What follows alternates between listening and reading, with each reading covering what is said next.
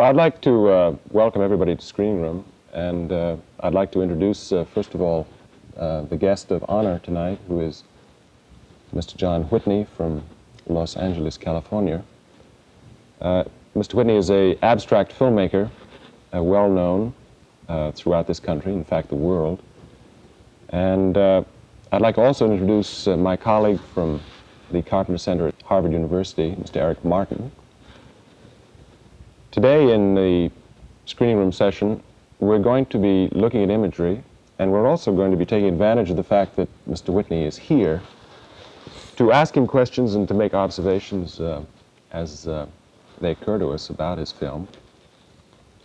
I think a great many interesting things uh, come up in his film, and uh, uh, I would cite, uh, for example, the whole question of what Mr. Whitney does without content. He makes abstract films, but they are full of form and devoid of content. How does he appeal to our emotions? How does he affect us? Uh, because he surely does. I think at the very least I can promise you all that your TV sets are not going to look uh, like they ever have before. John, I know something about your background, uh, the fact that you were making films in the 30s, or late 30s, I guess, and the fact that uh, you're working in 8 millimeter at that time. Uh, I also know that you were making abstract films in the 40s, which brought you a uh, first prize at uh, the Belgian competition. When was what year was that? That was 49. 49. And that uh, you kept on working uh, at various devices uh, during the 50s,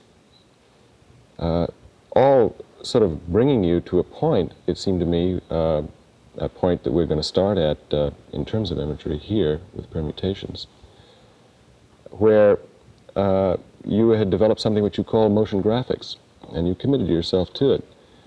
And I wonder if you could possibly take uh, a little time now, before we start permutations, to describe some of the more important influences on you or the more important events that uh, transpired during those years before um, after the abstract films of the Belgian uh, prize time and permutations. Yeah. Well, we'll uh, I'm sure we can get into further uh, explanations and descriptions of, of what abstract films add up to.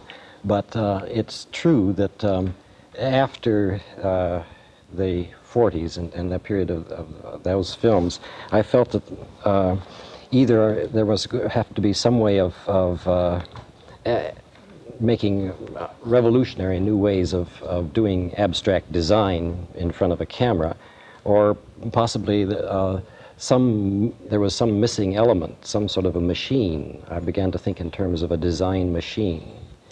I think somewhere you say that uh, the computer offers you the opportunity to uh, do a kind of periodic uh, uh, handling of, of visual material. Uh, could you could you describe what you mean by that and why it's important to you? Yeah. I think this is uh, uh, yeah, it's it's difficult, but the the point is that um, uh, this beginning to search for uh, some sort of a machine, a design machine, uh, came to fruition when the, the, with from my point of view, with the development of the graphic display capability of the computer. Mm-hmm. And I have, uh, to put it in very simple terms, I look upon the computer as capable of producing, um, uh, to, uh, capable of, manipulating a visual experience in almost exactly the same way that the whole family of musical instruments uh, manipulate aural uh, experience. Mm-hmm.